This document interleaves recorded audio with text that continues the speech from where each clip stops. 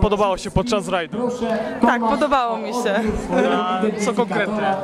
Podobała mi się długość trasy, sama trasa, bo jestem stąd, natomiast nie jeździłam wcześniej tymi drogami, znaczy się większością tych dróg.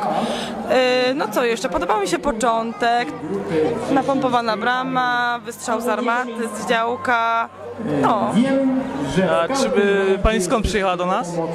znaczy ze Szczecina. Znaczy wychowałam się we wrześni, teraz mieszkam w Szczecinie. E, Czy pani odwiedzi nas w przyszłym roku? Myślę, że tak. Myślę, że tak. No.